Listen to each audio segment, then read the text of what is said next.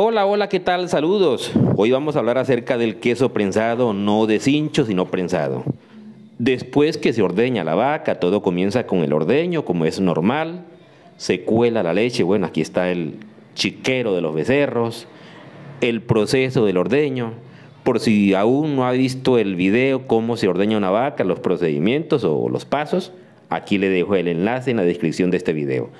Bueno, después que la leche se cuela, se aparta la cantidad que se va a cuajar y se le introduce un cuajo líquido. Líquido, dígase bien. Antiguamente los cuajos no eran de esa manera, pero bueno, es la nueva versión que tenemos hoy por hoy, ¿no? Se revuelve un poco y luego se deja la cuajada quieta para que coagule y desde luego estile el suero necesario para sacarle todo ese suero. Ahí está el suero, vea. El quesero se lava muy bien las manos y las introduce en la cuajada y va presionando de una forma muy suave, con el propósito de permitirle a la cuajada que estile todo el suero. Una vez que endurece la cuajada, se hacen trozos mínimos de queso y se introducen en un agua con sal durante una media hora. Esto con la finalidad que la sal del agua penetre en la cuajada, por lo tanto, debe quedar al punto ni muy salada ni muy simple, porque de ahí depende el gusto del queso. Una vez se calcula el tiempo de la media hora, se organiza la prensa. ¿Qué es una prensa? Un cajoncito de madera con orificios por los lados para que destile perfectamente el suero. O sea, esta es una prensa, una prensa pequeña. ¿Cómo se organiza? Hacemos la ilustración con un saco plástico que toma la forma de la prensa y ahí es donde se introduce la cuajada.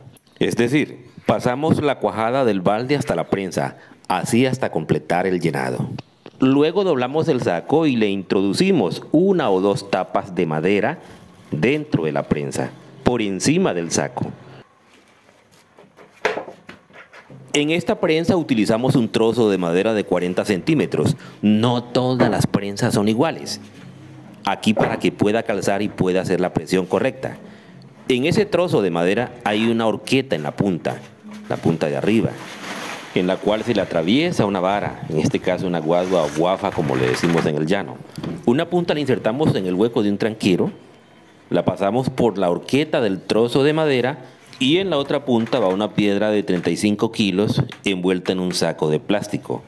Este es el peso que permite que la cuajada escurra por completo. Aquí está haciendo su trabajo. Y así se arma una prensa de una manera sencilla.